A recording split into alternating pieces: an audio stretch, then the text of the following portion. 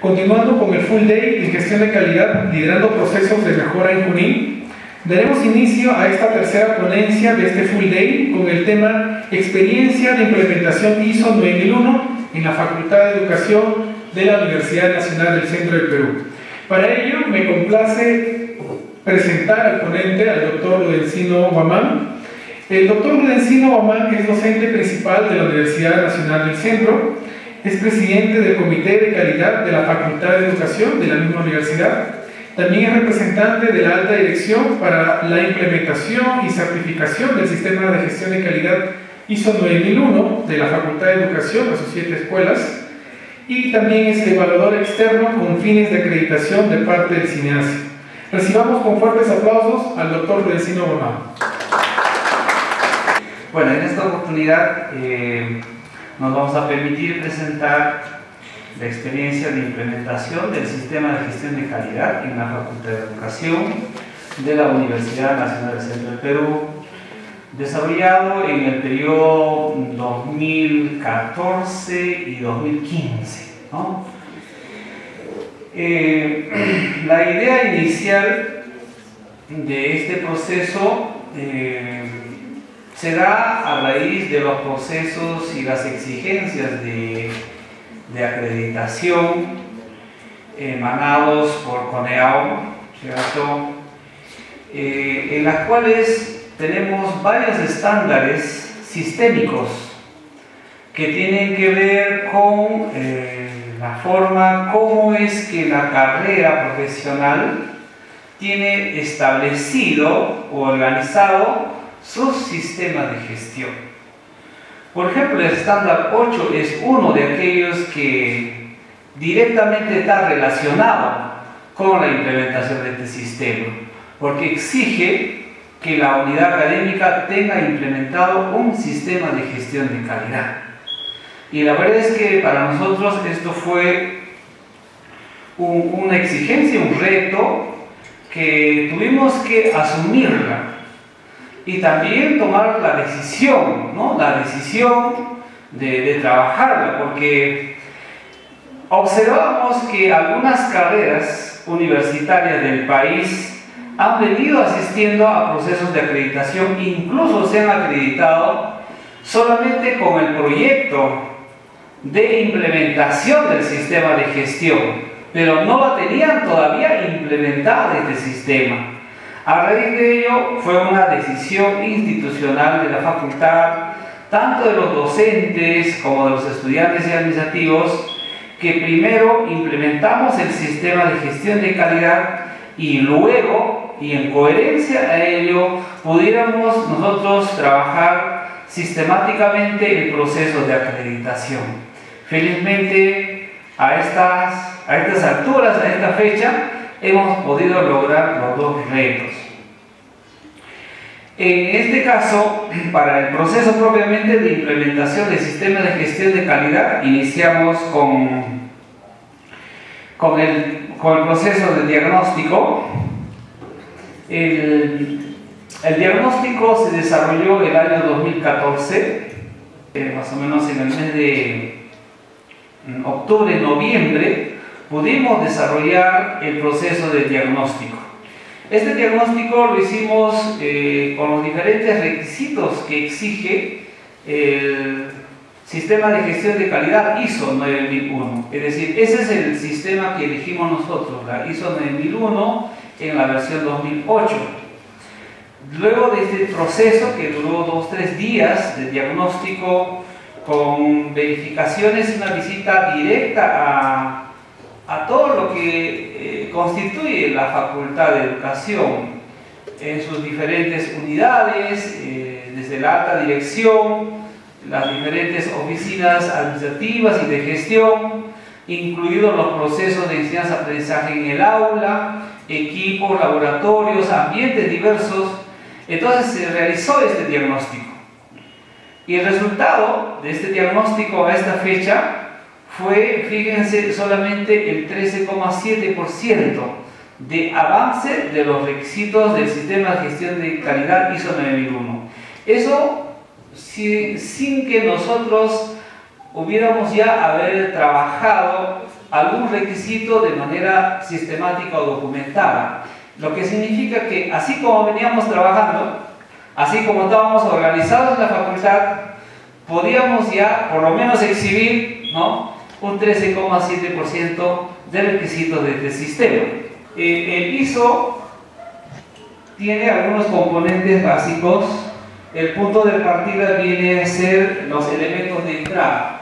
Todo sistema de gestión de calidad realmente empieza con los elementos de entrada, que ser el contexto, la sociedad, donde estamos trabajando como institución, como organización.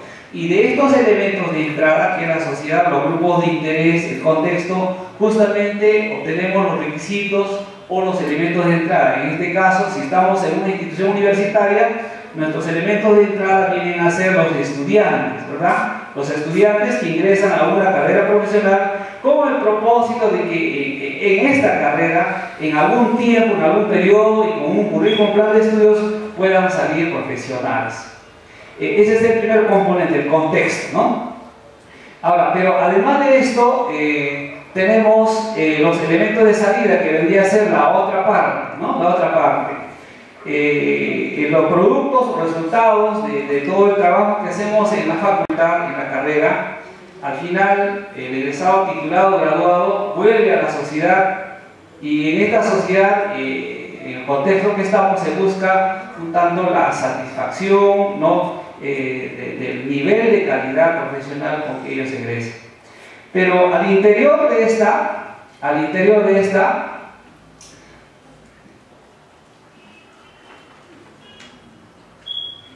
tenemos algunos componentes básicos. En primer lugar tenemos acá responsabilidad de la dirección en la parte superior, que significa que la gestión de todo el sistema lo tiene que dirigir, lo tiene que asumir la alta dirección, vale decir, el decano, el consejo de facultad, las autoridades que dirigen la, la, universidad y la facultad particularmente. Esto es la responsabilidad. Aquí tenemos un conjunto de requisitos que cumplir con el, con el, con el ISO. En segundo lugar tenemos la gestión de recursos. En la gestión de recursos está comprendido, por ejemplo, la gestión de recursos humanos, en el que tenemos los docentes, los profesionales que trabajan allí, eh, sus diferentes categorías, también incluye personal administrativo, incluye ambientes, equipos, laboratorios, aulas, etc. La gestión de recursos. Es decir, cómo así en la carrera, en la facultad, se prevé, se tiene las condiciones básicas ambientales o infraestructurales para que pueda procesarse la enseñanza-aprendizaje y la formación profesional. Eh, en tercer lugar, tenemos acá la realización del producto. La realización del producto se refiere aplicado a educación, aplicado a la formación universitaria, justamente el proceso de enseñanza-aprendizaje de las diferentes asignaturas a cargo de maestros, docentes, de las diferentes áreas. Es decir, cómo es que la carrera organiza eh, según horario de clases, según especialidades, según los turnos que tenemos, el proceso propiamente de enseñanza-aprendizaje. Ahí tenemos que ver el tema de sílabos, el tema de diseños de aprendizaje, el tema de uso de equipos y materiales en el acto pedagógico, el proceso de evaluación, etc. Es decir, todos los procesos, procedimientos que tienen que ver con la formación propiamente dicha. Esta realización del producto eh, eh, comprende a la vez eh, los diferentes semestres, ¿no? Los diferentes semestres que, por los cuales pasan nuestros estudiantes hasta que en el décimo semestre concluimos y tenemos un egresado, ¿no? Un egresado, un egresado. Y este egresado a su vez pueda seguir un conjunto todavía de actividades académicas complementarias como el proceso de graduación, el proceso de titulación. ¿no? Entonces ahí hablamos ya de un sistema de seguimiento del egresado, ¿de acuerdo? Sistema de seguimiento del egresado. Pero aquí hay otro cuarto componente que se refiere al proceso de medición, análisis y mejora. Ese proceso de medición, análisis y mejora se refiere a, a, los procesos de evaluación o autoevaluación que desarrollamos como programa, como facultad. ¿sí? Eh, en este caso, no solo es la evaluación que hacen los docentes en las asignaturas, sino a todo el sistema de evaluación. incluido asignaturas, incluido, digamos, este, actas promocionales, incluido certificación, hasta el proceso de graduación. Este, este sistema eh, de gestión de calidad ISO es un proceso en realidad de mejora continua porque cada semestre y cada año académico se entiende que la alta dirección, las autoridades, dirigen, gestionan ¿no? todos los procesos que corresponden. Este es el modelo, por lo tanto, que hemos elegido en la facultad para el proceso de implementación. Ahora, eh, también elaboramos el plan de implementación.